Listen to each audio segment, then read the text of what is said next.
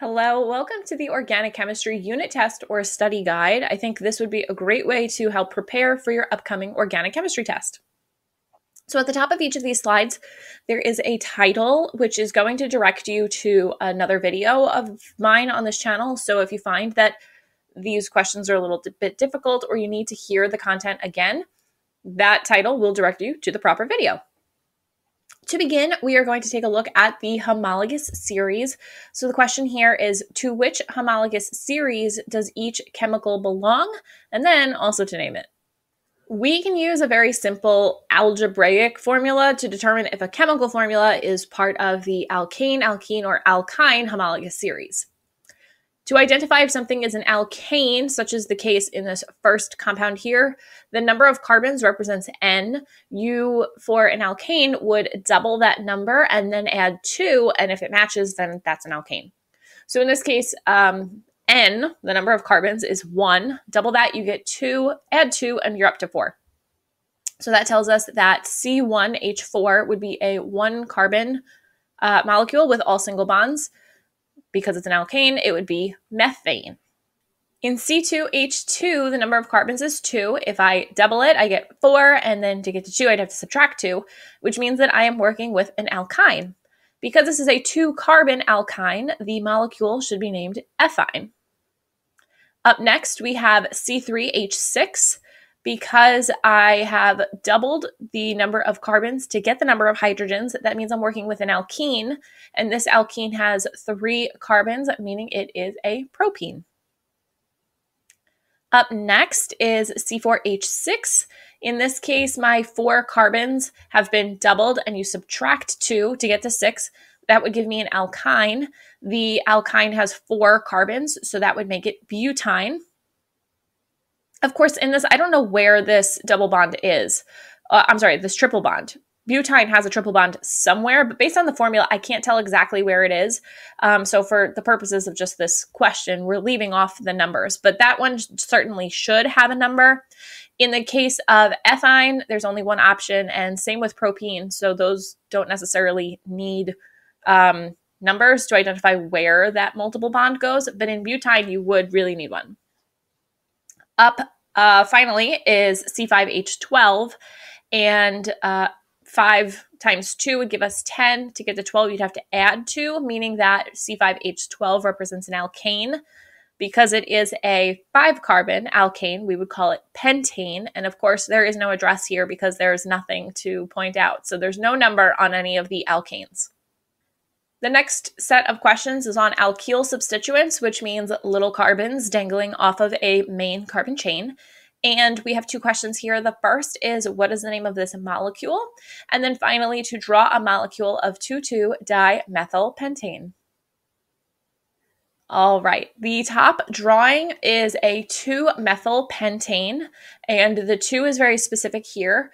Um, you may have, I would say the most common wrong answer would be 4-methylpentane because you have counted your carbons only from left to right, and this methane would have wound up on carbon 4.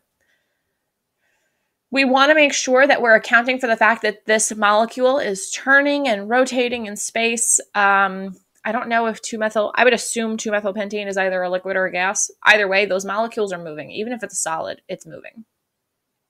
Um, so the fact that this molecule is moving means that we have to count the carbon chain both from left to right and right to left when we're numbering to figure out which perspective we're taking on this molecule. Because if I'm looking at it like my palm, you're looking at the back of my hand. So if my carbon's over here, for me, it looks like it's carbon one, but for you, it may look like it's carbon five. Um, so we want to make sure that we're accounting for the fact that this molecule rotates in space. That's why you count it twice. In this case, by counting it twice, you would find that the lowest number possible for that alkyl substituent, that methyl group, would be carbon 2. So that's why it would be 2-methyl pentane. Again, methyl because it has a one carbon dangle and it's on carbon 2. And then the pentane says that the main chain is five carbons all single bonded. Now in the um, drawing that you had to do, I kind of work backwards here. Um, I work from the, the right to the the left in terms of the name. So I would start with pentane. This is a five carbon single bonded chain. And then um, the next piece here is dimethyl. So I know that I need two methyl groups. And this 2 2 tells me that both of my methyl groups are on carbon 2. One would have to go on the top and one would have to go on the bottom.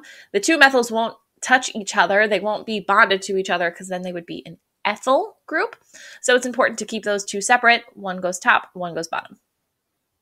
The next set of questions is on functional groups, and the question is what is the name of each of these molecules and to which functional group family does it belong? All right, this first one here up at the top left would be an alcohol. I know this because it has an OH group on that molecule. And the name of this would be 2-pentanol because this OH group is on the second carbon. Remember, you have to count both left to right and right to left to account for motion. And the OL on the end of that name says that there is an alcohol group on carbon 2 of a five carbon chain.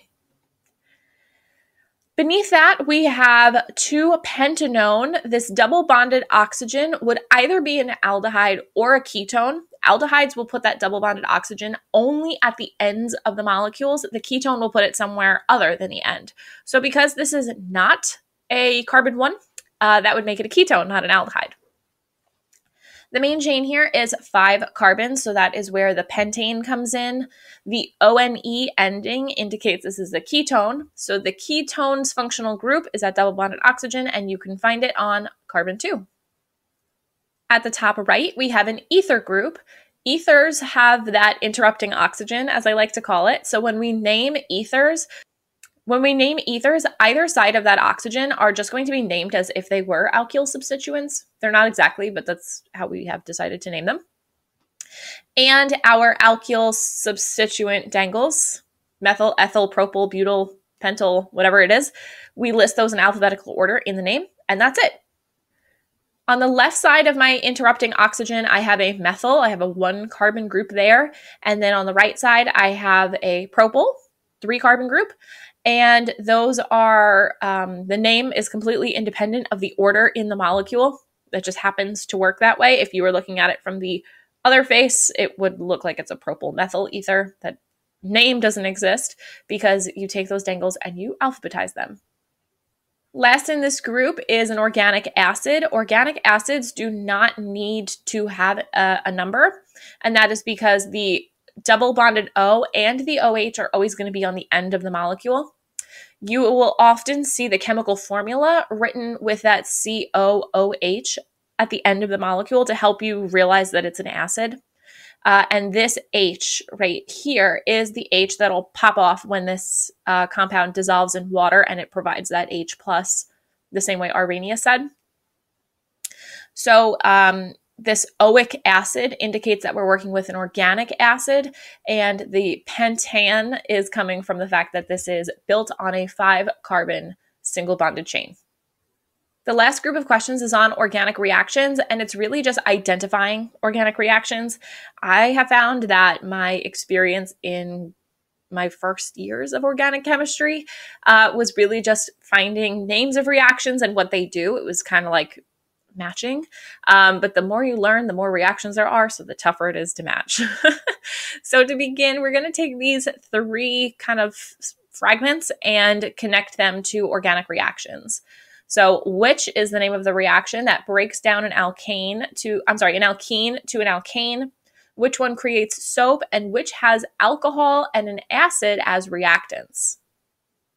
Addition reactions take an alkene or even an alkyne and will reduce that multiple bond. Um, in the case of an alkyne, it can be reduced to an alkene or to an alkane, just depending on how much stuff is going to add across that double bond. Typically, it's going to be something diatomic like chlorine or even hydrogen. Uh, the reaction that creates soap is called saponification. You take a fat or an oil and you would mix that with lye, usually we would say, but it just means a strong base. And that will create soap and glycerin as a byproduct. And then the uh, reaction that uses alcohol and an acid is an esterification. Uh, so the ester will be formed from the double bonded O of the acid and the O of the alcohol, and they're going to stick together. The final set of questions, uh, same concept. We are asking which reaction has alcohol as a product, which will link small molecules into larger molecules, and which one will burn a fuel. Fermentation is the reaction that has alcohol as a product. When we're talking about making bread, when once you bake it, the alcohol will vaporize out. Um, but it also has carbon dioxide as a product, which is what makes the little air bubbles in uh, bread. A polymerization is the type of reaction that will link together monomers to make a very large polymer. We can use that for uh, making proteins, starches, but also plastics.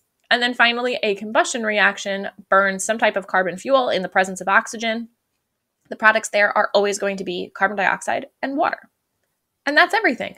Please make sure to uh, go back, rewatch this video, or go back to the individual videos to hear the content again. You may need it. Organic is a lot to keep straight. Not my favorite either. Um, any questions you have, please, of course, feel free to leave them in the comment section below the video. Subscribe so you don't miss the next lesson, and I'll see you there. Bye.